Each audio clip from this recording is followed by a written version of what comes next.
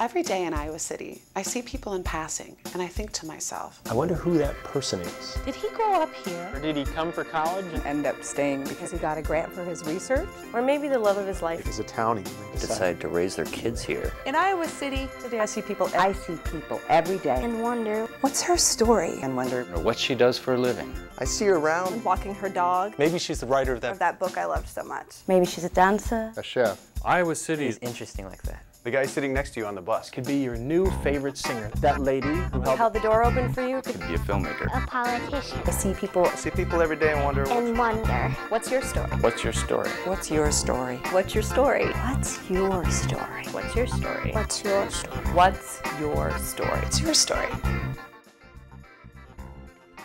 After half a century of making music, Tony Brown has learned more than some nice guitar licks and a distinct vocal styling. Songs are his way of teaching what he has learned about life. Turning his meditations on life into live performance, he wants to inspire us all to practice the principle of unity, to see what we have in common so that we do good by the world. But how does Tony Brown stay positive in the face of all of life's trials? This is his story. So, Tony, you were raised in Iowa, right? Yeah, yeah. raised in Waterloo. Spent some time bouncing around, you know, here and there, but Waterloo was the Waterloo focus point. Yeah.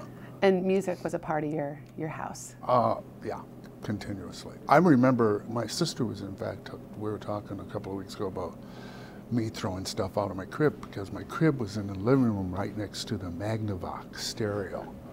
And every Sunday it was a tradition to play jazz in the morning.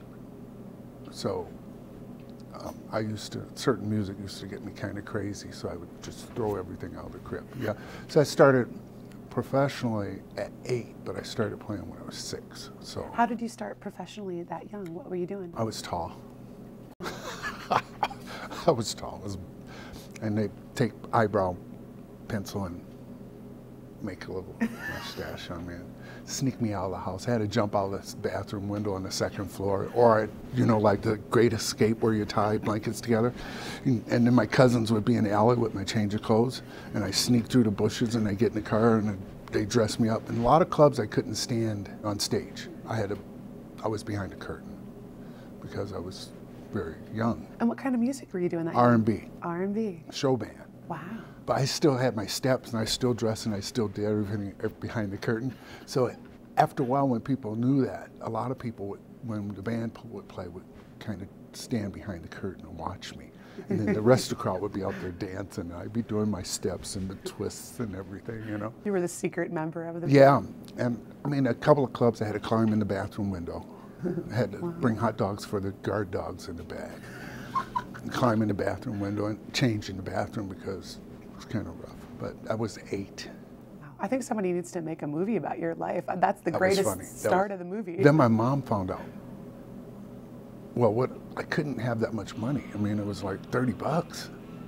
30 bucks was way too much money for a kid back then. So I'd hide it in one of her drawers and she wouldn't find it for weeks sometimes. Sometimes she'd find it next day. She, oh, I must have hid this money somewhere. And so she finally caught me. And she had to make a deal with my cousins. They could take me, you know, like a doll, you're loaning somebody a doll.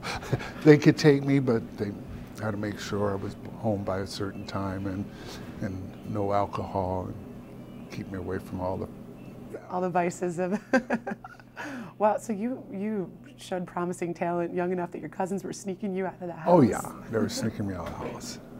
That was that was the earliest part of it, and from that point on, it was either athletics or music.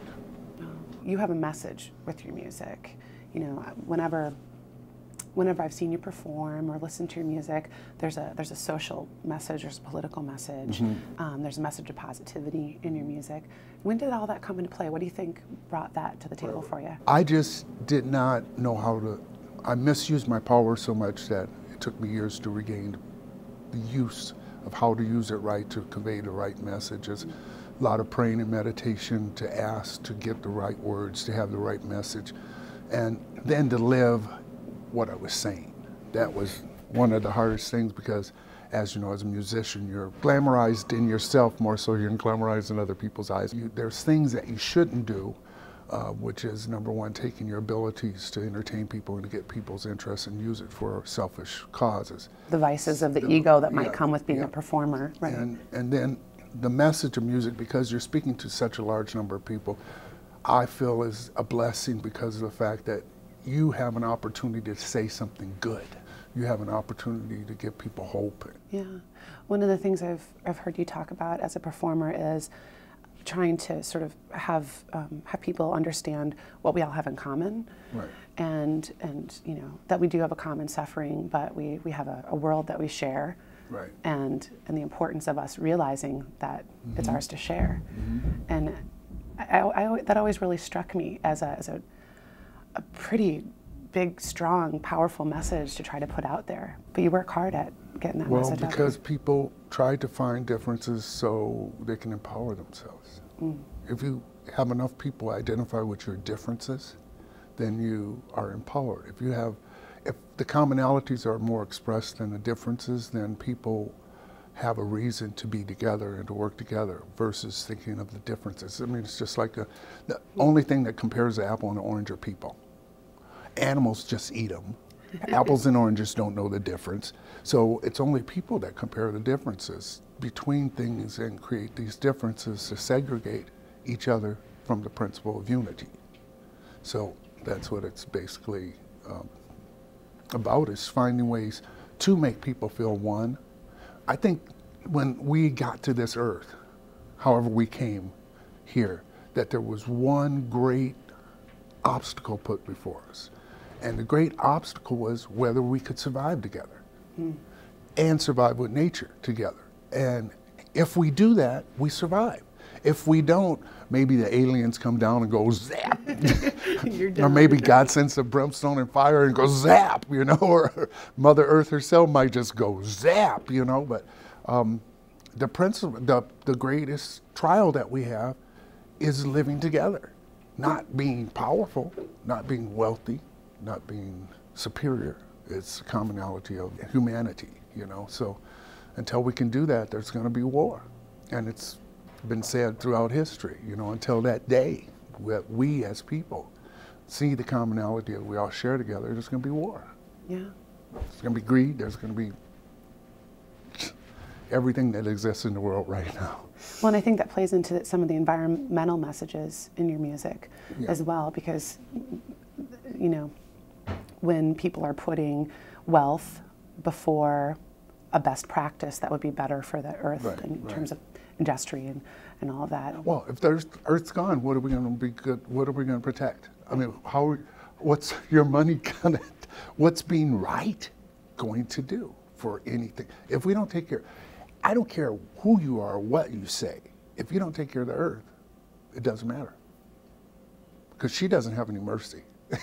I mean, it's just like flies driving down, flying down the road, smash, hits a car. That fly didn't even do anything. That's my, the nature is that way. And what we're doing is we're challenging that mm. by putting these humanistic values ahead of, of taking care of the earth.